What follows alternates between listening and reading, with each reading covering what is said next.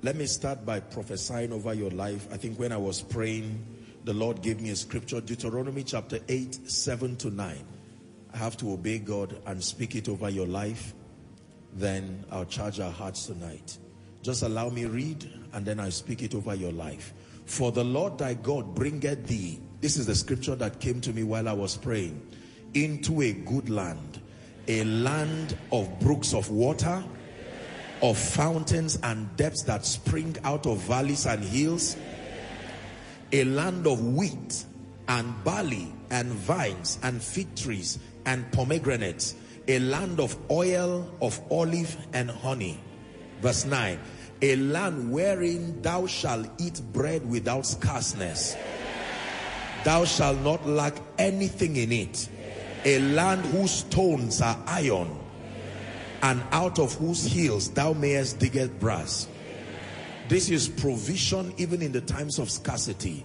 Even though I'm not teaching on finances tonight, but I have to obey the Lord. In the name of Jesus, by the power of prophecy, I'm praying for you that beginning from this week, may you step into a strange level of financial testimonies. We call upon God who has graciously shown us mercy that in the name of Jesus Christ, everyone connected to this grace, I'm prophesying to you by the Spirit of the living God, not not in two weeks, not in three weeks, not next year, not in March. You have the faith to believe I speak over your life. In the name of Jesus, step into a realm of extraordinary abundance. Abundance by the wisdom of God. Abundance by the favor of God. Abundance by strategic relationships abundance by inheritance in the name of Jesus so don't be surprised if someone who has not called you in a long time calls you and says God just put it in my heart that for the remaining part of this year every month not once not twice every month that I should be blessing you and blessing your children you have the faith to believe it I speak it over your life I bless your week beginning. Say amen. I bless your week beginning. Enjoy favor.